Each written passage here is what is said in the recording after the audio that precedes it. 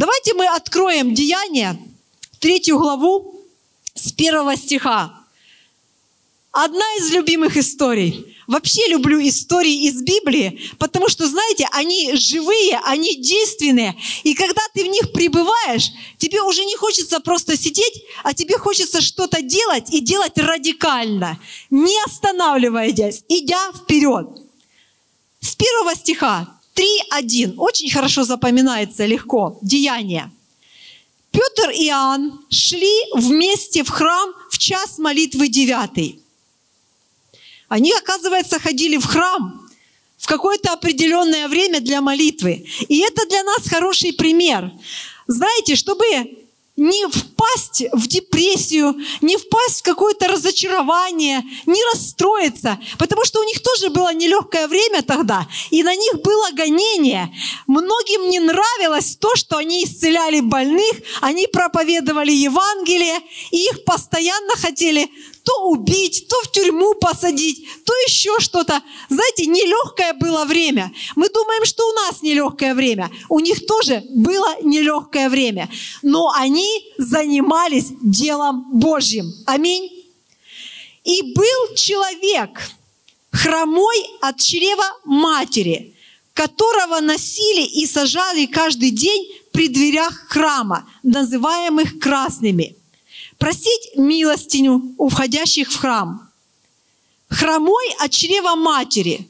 Ну, знаете, ну, как считаешь и представляешь, ну, хромой, да, себе там хромой человек. Но просто хромого человека не носили бы к храму, чтобы он просил милостину. Он бы сам мог доходить, если бы он просто хромал. Значит, там было нечто большее, если его приходилось носить людям, чтобы он там просил милостыню. И второй момент. Каждый человек, он должен быть полезным. Даже хромого, которого носили, приносил какой-то доход домой. Да? Он там сидел и что-то делал. Он не был бездельником. Он не был просто, знаете, тем, кто ел свой хлеб. Он что-то делал и приносил какую-то пользу в свой дом. Это еще один момент, на который нужно обратить внимание. Он, увидев Петра и Иоанна, перед входом в храм просил у них милостыни. Петр и Иоанн, смотревшись с него, сказали, взгляни на нас.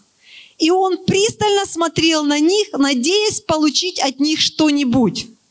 Но мы, естественно, мысли Хромова не можем прочитать, но он сто процентов что-то хотел от них получить, да? У него же была цель, почему его туда принесли. И у него было, естественно, желание что-то получить. Но Петр сказал, серебра и золота нет у меня, а что имею, то даю тебе во имя Иисуса Христа Назарянина, встань и ходи.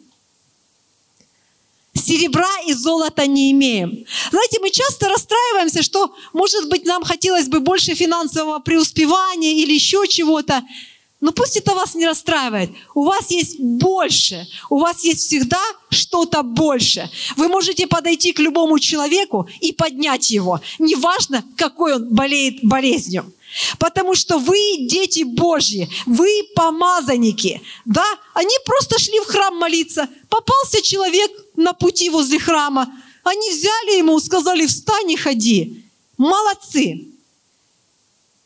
Взяли его за правую руку, поднял, и вдруг укрепились его ступни и колени. И, вскочив, встал и начал ходить, и вошел с ними в храме, ходя и скача и хваля Бога. Слушай, я не знаю, делал ли кто-нибудь до него так в храме? Э, ну, там же народ был благочинный, там же все, наверное, строго и четко в храм приходили помолиться Богу. А этот человек, вскочил, встал, начал ходить и вошел с ними в храм, ходя и скача, хваля Бога. Вы представляете эту картину? Храм, тишина, спокойствие. И тут какой-то человек заходит и начинает скакать скакать, прыгать, благодарить Бога. Ну, знаете, ну, сложно представить. Вот зайдите сейчас в православный храм, скача, хваля Бога и крича там что-то. Но мы не задумываемся о том, что происходило, да? человек получил чудо. И он проявил просто благодарность Господу тем, чем он мог проявить. Он долго не ходил, он долго не скакал, он долго не прыгал. И он проявил всем своим естеством свою благодарность. Поэтому нам нужно быть благодарными Господу и делать что-то, то, чего мы до этого не делали. Поэтому это так здорово, что этот человек не просто там, знаете, получил исцеление, зашифровался, он пошел и показал всем, что он получил исцеление от Бога. Аллилуйя! Но дело-то было не в апостолах, да? Дело-то было не в них. Они сами об этом сказали. И весь народ, видя его, ходящего и хвалящего Бога, и узнали его, что это был человек, который сидел у красных дверей храма для милостыни, и исполнились ужаса от случившегося с ним. А также он не отходил от Петра и Иоанна и бежал к ним, и в изумлении весь народ Очень интересно. Он не отходил от них, получив свое исцеление. Это просто удивительно. Увидев это, Петр сказал народу, мужи израильские, что дивитесь этому? Или что смотрите на нас, как будто бы мы своей силой или благочестием сделали то, что вы, что он ходит? Бог Авраама, Исаака, Иакова, Бог отцов наших прославил Сына Своего Иисуса, которого вы предали и от которого отреклись перед лицом Пилата – они сказали не нашей силой, не нашим благочестием, но именем Господа Иисуса Христа. Это сделали. Поэтому не в вас вообще дело, а в том, в кого вы верите, в том, кого вы людям говорите, о ком вы говорите, что вы говорите. Поэтому наша сила в нем – в Его имени, в Его силе, в Его славе, которую Он хочет проявлять сейчас и здесь, в это время. Аминь. И слава Ему, драгоценному нашему Господу. Поэтому, когда мы идем, просто не проходите мимо тех, кого вы видите, что страдает человек. Подойдите и помолитесь. Подойдите и во имя Иисуса Христа скажите, поднимайся и будь здоров. Серебра и золота, может, у меня нету, но у меня для тебя есть радостная новость. Вставай и ходи. Выходи с этой больницы и будь здоров во имя Иисуса Христа. Это радостная новость для нас. Это воля Божья для нас, чтобы мы сегодня были здоровы и скакали, и прыгали, и хвалили нашего Господа. Поэтому, если кто-то смотрит нас и не понимает, почему мы здесь радуемся, да мы радуемся потому, что у нас есть Господь.